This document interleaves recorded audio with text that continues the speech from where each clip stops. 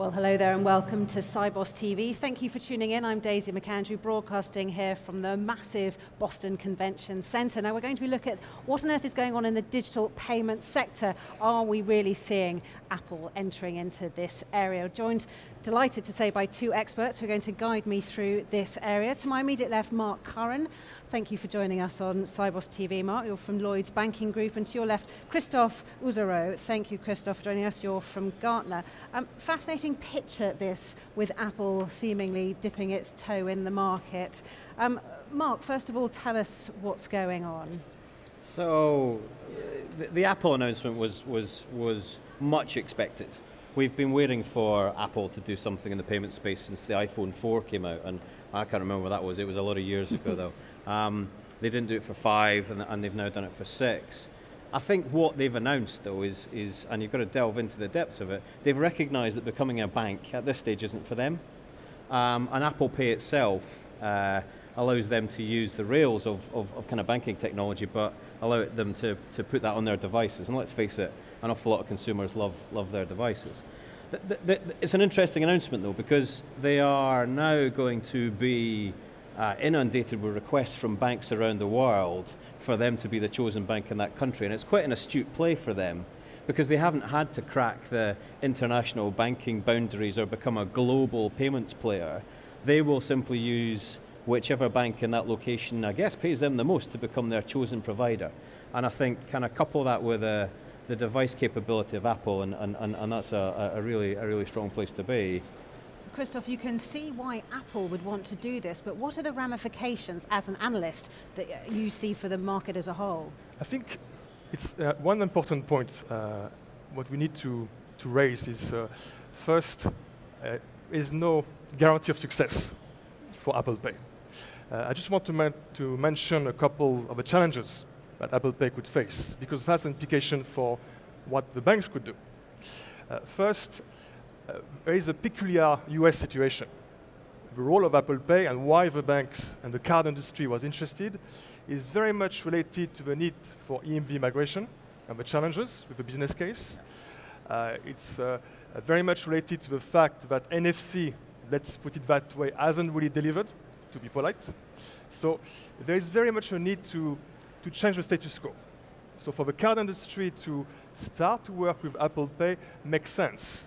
But we have to, to think beyond those very US-centric and also beyond retail payments. Uh, first, uh, for a bank, uh, we need to think about what's the real role of a bank as part of this. Let's assume there is some traction.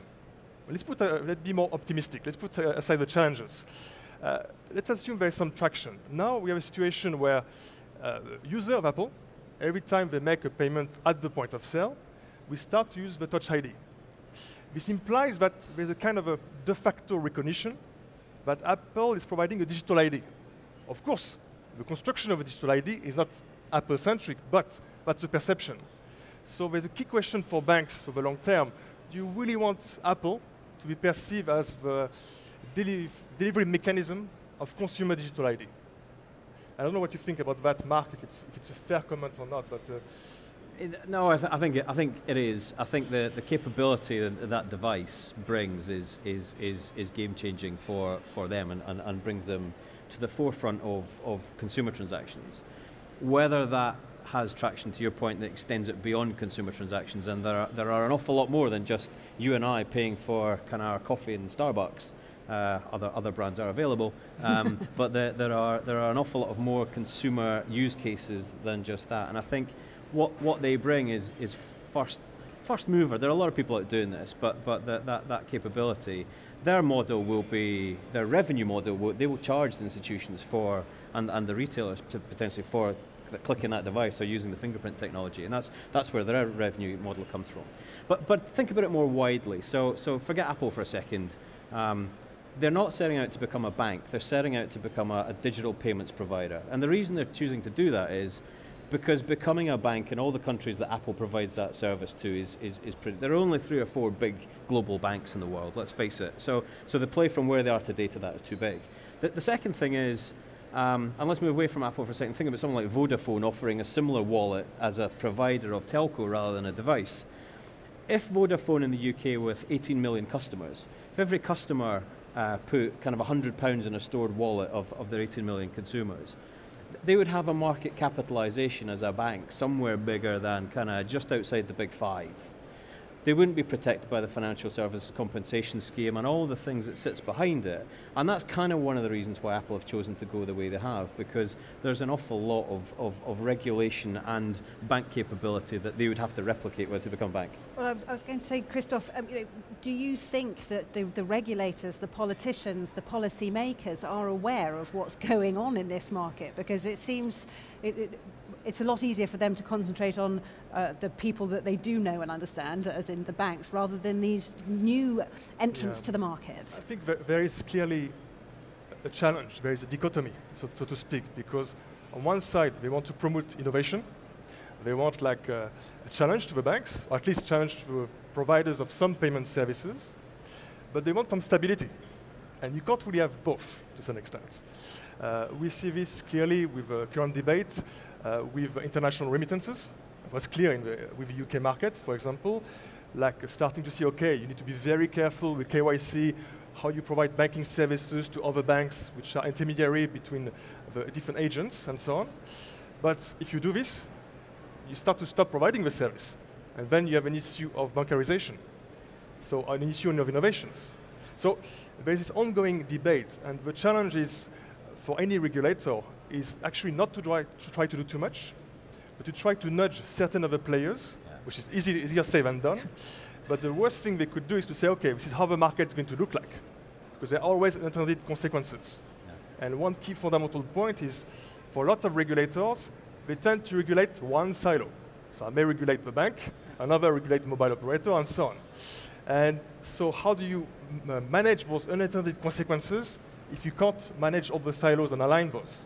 And that's a very key challenge, and one uh, which will be difficult to sort out. But it's, it's, it's, a, it's a brilliant point because you find yourself in any market now being regulated down four kind of different, different axes. You've got competition, innovation, uh, kind of conduct and market access, and, and then kind of regulatory safety. In the UK, we've got the FCA and the PRA and kind of the Competition Commission, Uncle Tom Cobley and all.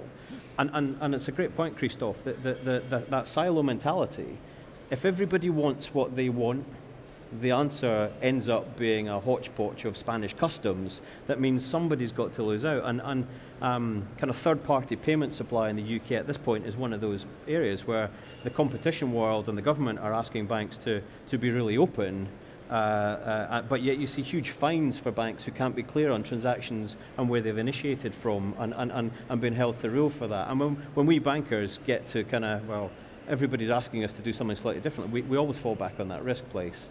Um, as, as Christoph said, there's that tension that comes from any sort of regulation that you stifle the entrepreneurship, and particularly yeah. as we're coming out of a global crisis and where every politician says that he or she wants to encourage as much, you know, as many entrepreneurs as possible, and yet, because we're coming out of a crisis, those same politicians want to tell the public that they're doing everything they can to keep them safe. It's a very difficult juggling act. I agree. Um, so, what, if you were a regulator, what would your advice, or if you were an advisor to a regulator, what would your advice be? Why don't you all have a cup of coffee and agree what the, what the blended model is? And, and, and it, look, it's a tough world being a regulator, particularly in, in, in a kind of post uh, recessionary period that we've had. Everybody's worried about collapse or failure. But I think the difficulty is a lot of people are, are, looking at that through the lens of eight or ten institutions globally, three or four hundred institutions. Uh, and, and, and Christoph's earlier point, all these new entrants are coming into the market. And I think there is a risk that uh, there's, there's an opportunity, one, for innovation and, and for customers. There's clearly customer demand. They want, customers want these new services, yeah. let's face it.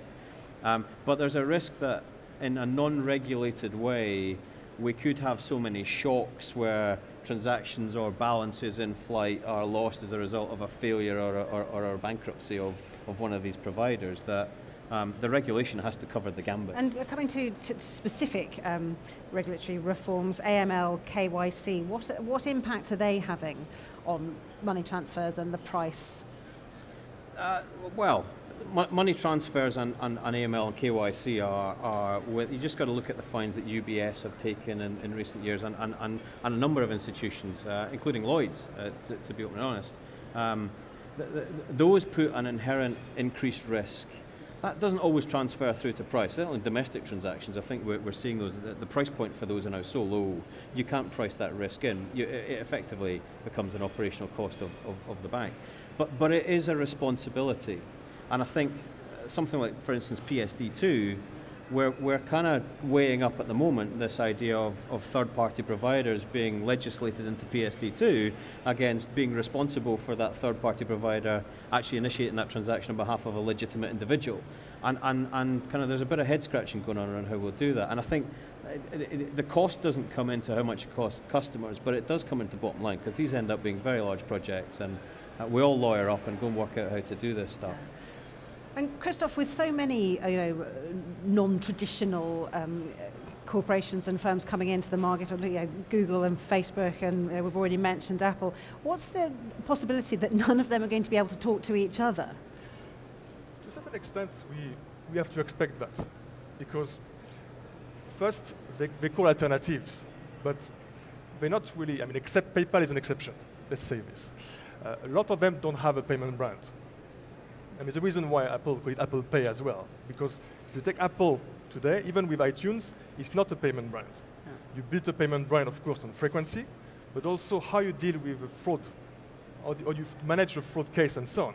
And today, except banks, not many companies are prepared to actually spend the time and the money to investigate a fraud case. And that's how you build a payment brand. So a lot of those brands, they're not really pure payment brands or pure payment providers, except PayPal, I must stress. So what's happening is what they're doing is they're contextualizing some of the payment system that already exists. So what is interesting is what this contextualization will carry on and become more and more fragmented because of the different uh, shopping patterns that we, we are taking on and so on. So from the point of view of your industry, trying to achieve interoperability and standardization from that perspective of those providers, I'm not sure it's worth it.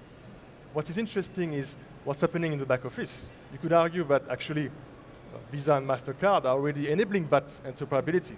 So but that's one part. The second part is from the bank perspective. Uh, the banks have an opportunity to start to think, well, actually I don't need to control all those different payments components.